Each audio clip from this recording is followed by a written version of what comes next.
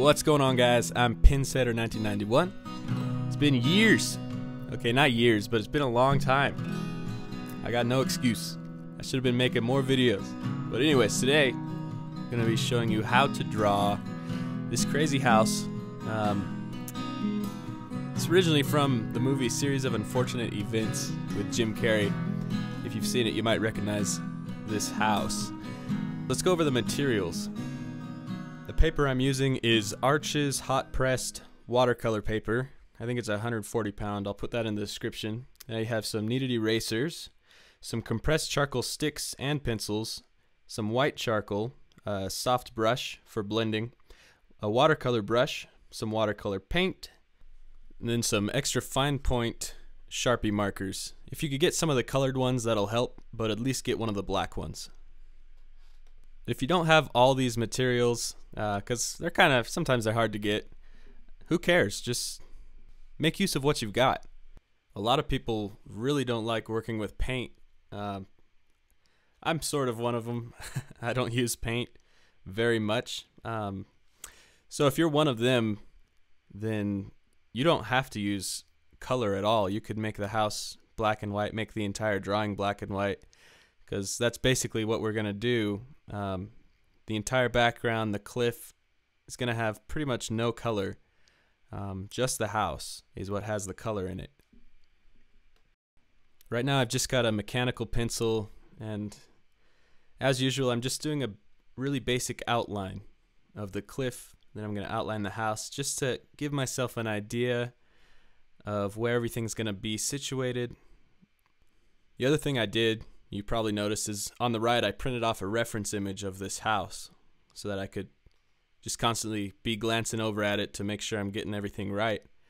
Um, in the movie, the lady that owns the house, her name's Aunt Josephine. So if you Google a series of unfortunate events, Aunt Josephine's house, you'll be able to find the reference image, or I'll put the link in the description below so that you can print it off. So for this part, I'm just using a mechanical pencil, and once we start using the charcoal, it's going to get pretty messy, and it's really going to be hard to even see these original lines, but it still helps. You know, when we're we're going to start with the sky and the clouds, and uh, you know, you just at least you have an idea of where the house is and where you don't really need to put a bunch of charcoal down so there's the house. Um, you can see I didn't try to draw any of those wooden planks underneath or any fine details. I just made some of the basic shapes just to get started. So now we're going to start on the sky and the entire background is sky. You don't see any ocean or anything down below. Um, so we grab a piece of compressed charcoal and on a separate sheet of paper, a lot of you have probably seen this technique because I've used it in a bunch of my videos already. You put down a bunch of charcoal on a separate sheet of paper, and then we're going to use a napkin, paper towel, toilet paper, whatever you want to use, some kind of you know paper material. Surprisingly, toilet paper has worked the best for me. Um, but you're gonna smear it onto the toilet paper or whatever paper you choose and then you're going to use that to put down the sky in the background because it really really goes on just super smooth when you do it this way. You don't want to draw it directly on with like a pencil or anything. It'll be too choppy. Now the other thing that I changed up uh, a little bit from the original picture is the background was pretty boring. It was just gray sky. And I decided to add in a bunch of clouds, make it kind of stormy looking. And uh, there's other reference images that I looked up. I didn't really print them out or anything. I just looked up a couple Google images on storm clouds just to give myself some ideas, and then I just went for it. Right here, I try something out just to see if it would work.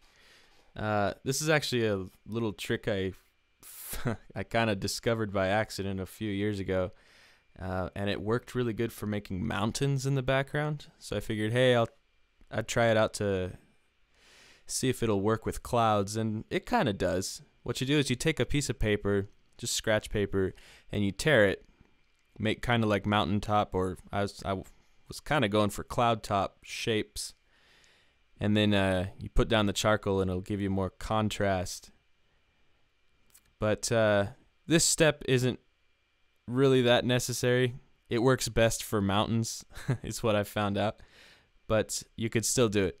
It still helps with getting a lot of contrast in there, but you got to go back and refine the clouds so that they don't look like mountains.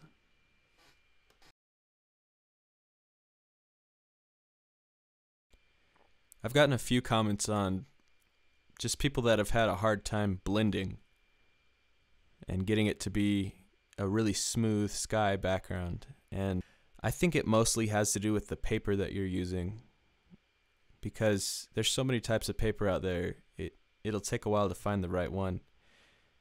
Back when I first heard that people use watercolor paper to draw on, it just seemed weird. I thought that's not right. that's got to that stuff's for watercolors for painting, right?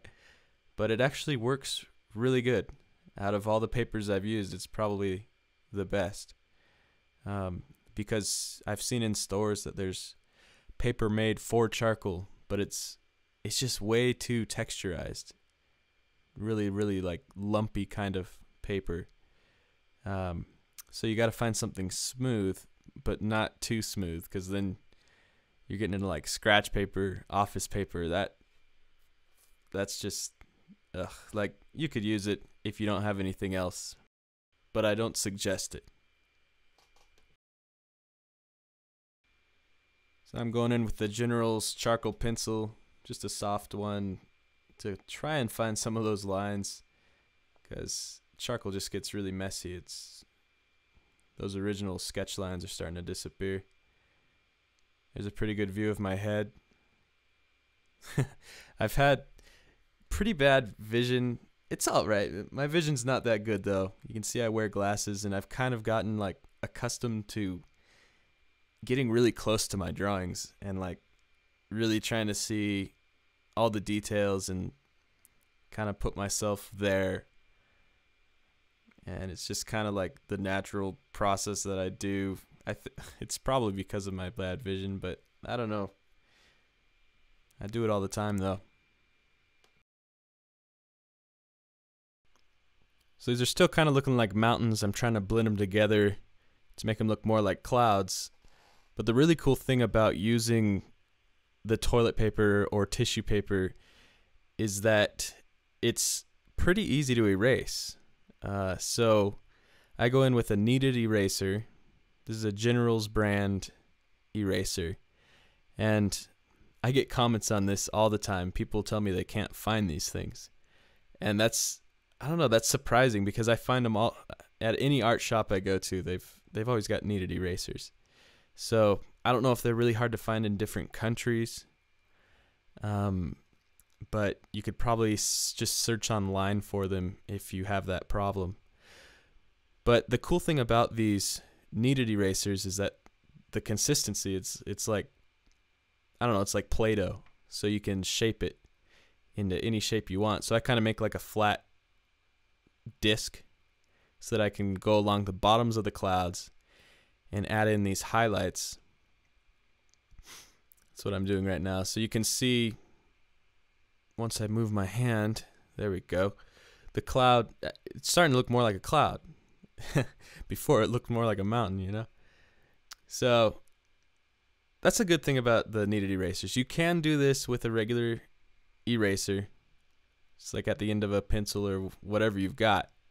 Just make use of what you've got. But if you can find a kneaded eraser, you'll have a lot more flexibility.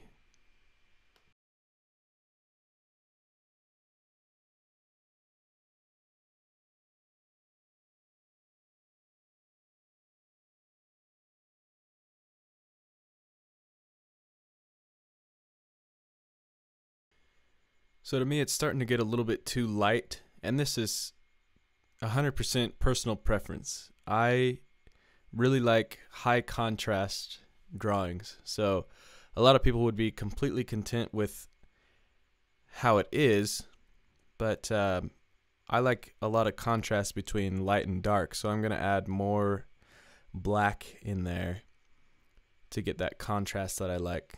I don't know why. Maybe it's from like all the Tim Burton movies that I've watched or you know, like Nightmare Before Christmas and all that stuff. But I've always loved a lot of contrast.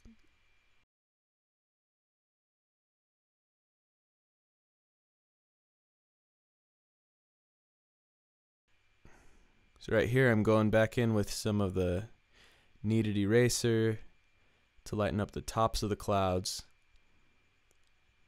And now I switch to another eraser that I didn't mention in the materials list. This is a really good one. It's actually a Faber-Castell brand eraser pencil. And I have it right here.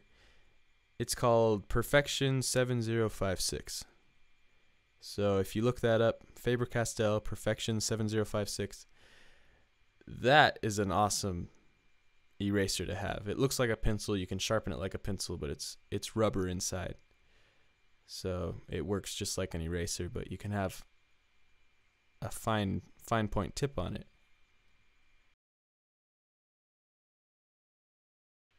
You see I went through with the brush. That is a Habico Duo Pastello. And these things I can't find anywhere. Like uh, I had that one sent to me by the Nitram Charcoal Company because uh, I think they were planning on selling them, so they wanted me to try it out, see how it, how it works, and I absolutely love that thing. I use it all the time because it works really, really well for blending charcoal. Um, however, I, I've never seen them anywhere else. I can't find them in any store, so you'll see me use it throughout the video that's another thing you probably have to find online, or the closest thing to it would probably be one of those makeup brushes. Uh, the really soft ones that they use to apply like uh, foundation or whatever. That would probably do the trick. So now I start using a tortillon, which is basically the small version of a blending stump. It's made out of paper. Uh, and I use that because, you know, there's only so much detail you can get smearing it on with with the tissue paper. Uh, this this has a really small point, so you can kind of go in and add more definition to the edges of the clouds. and uh, the reference image that I found online had a lot of you know really really defined clouds and really dark edges so I decided to use the tortillon to be able to get the the right values that I wanted and the the definition that I wanted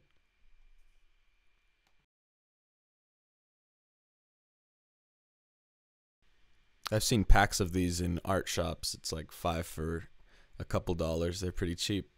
Or um, I've actually seen people make them themselves, and I've never done that, but you can make them just by rolling up some paper.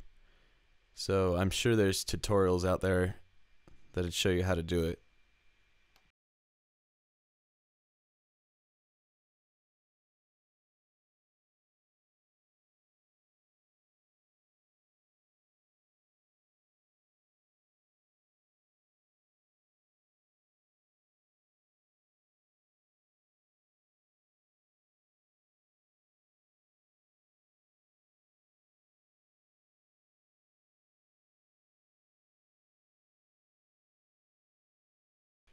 This is the other thing that the brush helps with.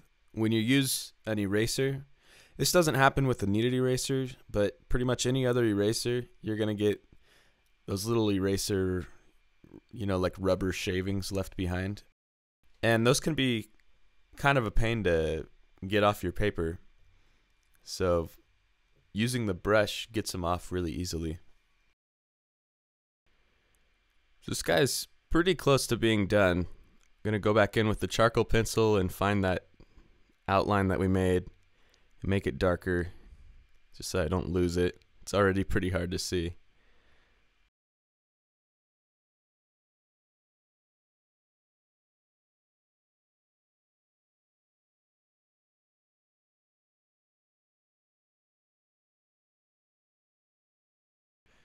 So now I start using that Faber-Castell eraser to add some highlights into the cliff edge.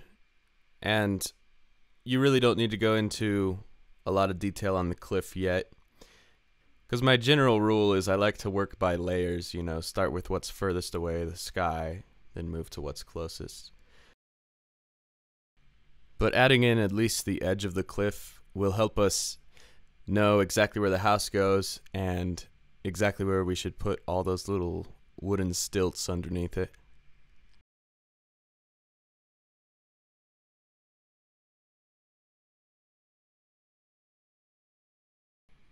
Now I go back to the kneaded eraser and just kind of quickly go back through and add in some final details. We're pretty much done with the sky. I'm going to add some clouds in up top above the house and you can see how easy it is. It takes me, you know, just a few seconds with the kneaded eraser. That's why it's so such a nice thing to have. So try to get yourselves one because it's definitely going to come in handy.